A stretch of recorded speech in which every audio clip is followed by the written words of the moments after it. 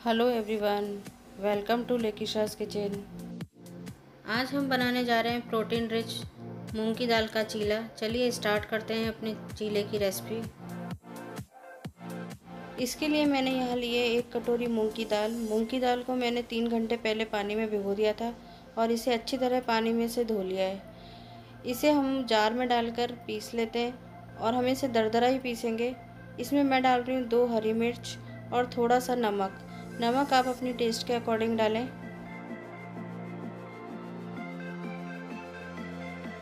चीले की स्टफिंग के लिए मैंने यहाँ लिया है पनीर। पनीर को मैंने कद्दूकस कर लिया है और टमाटरों को मैंने बारीक बारीक काट लिया है।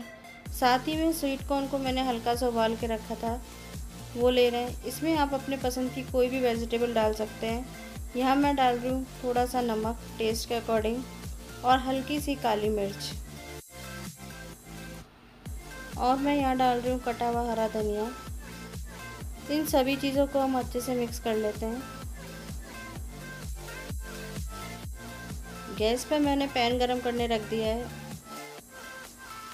जो हमने दाल का बैटर बना के रखा था, इसे हम इसमें डालकर चारों तरफ़ फैला लेते हैं। इसे हल्के हाथों से गोल गोल घुमाना है। ये बहुत पतला नहीं फैलाना है, इसे थोड़ा सा मोटा ही रखना है। दाल का बैटर हमारा ज़्यादा पतला नहीं होना चाहिए और ना ही बहुत गाढ़ा होना चाहिए। इसके किनारों पे हम थोड़ा थोड़ा करके ऑयल डाल लेते हैं, ताकि ये अच्छे से सिक पाए। एक तरफ़ से सिकने के बाद में हम इसे पलट लेंगे। इसके हम पहले इसको किनारे से धीरे धीरे हटाएँगे, चारों तरफ़ से। किनारों से हटने के बाद में इसे पलटेंगे।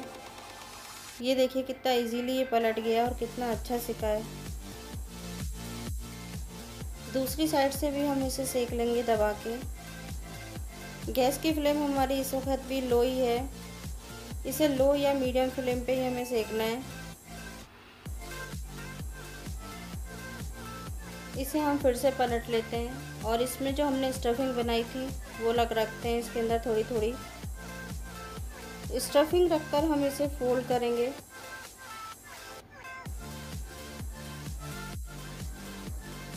ये लीजिए, अब हम इसे फोल्ड कर लेते हैं।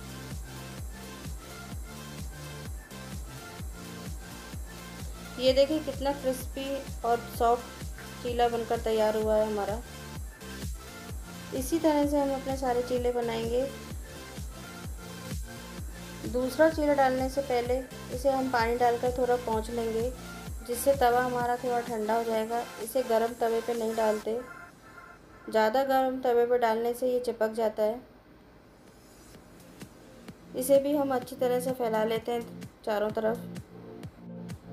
अगर आप क्रिस्पी चीला पसंद करते हैं तो इस बैटर को थोड़ा पतला करके फिर फैलाएँ। उससे ये चीला बहुत पतला बनेगा और क्रिस्पी बनेगा। चीले के किनारों पे हम हल्का हल्का सा ऑयल डाल लेते हैं। चीला हमारा एक तरफ़ से सिक के तैयार है, इसे पलट लेते हैं। पलटते वक्त ध्यान रहे बहुत हल्के हाथों से पलटे, ये टूट सकता है।